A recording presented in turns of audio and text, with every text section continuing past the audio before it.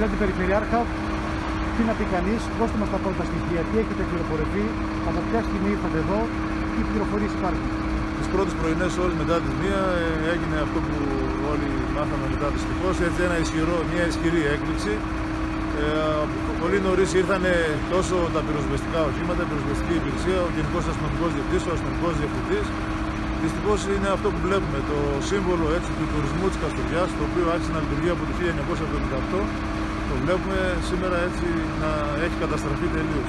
Δεν μπορώ, δεν έχω λόγια να πω κάτι. Είναι κάτι το οποίο είναι πραγματικά συγκλονιστικό.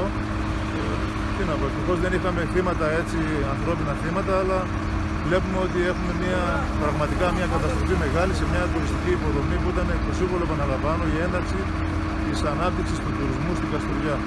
Να έχει ο Θεός ε, δυνατούς τους ιδιοκτήτες, να έχουν δύναμη και να μπορέσουν σύντομα να επανέλθουν έτσι σε κάτι νέο και δημιουργικό έτσι, συμβολικό για την Καστοριά. Πραγματικά είμαστε συγκλονισμένοι. Κύριε Περιφερειάρχα, ε, αυτό που είπατε νωρίτερα είναι και πολύ βασικό ότι δεν λειτουργούσε εδώ και αρκετούς μήνες, άρα δεν, υπάρχει, ε, δεν υπήρχε άνθρωπος στο κτίριο, έτσι. Δεν υπήρχε άνθρωπος στο κτίριο, ναι. Είχαμε από τις πρώτες πρωινές ώρες από έρθει, μίλησα και με, τον, με τους δύο ιδιοκτήτες του ξενοδοχείου. Δεν ερχόντουσαν τις πρωινές ώρες, ε, βλέπανε το ξενοδοχείο, ήταν κλειστό όπως είπατε, δεν υπήρχε κάποιος κατά τη διάρκεια της νυχτερινής βάρδιας.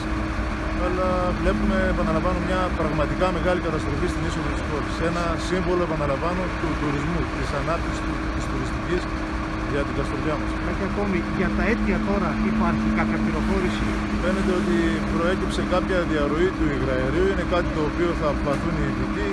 Το ξενοδοχείο λειτουργούσε εδώ και χρόνια με υγραέριο, με δεξαμενές υγραερίου.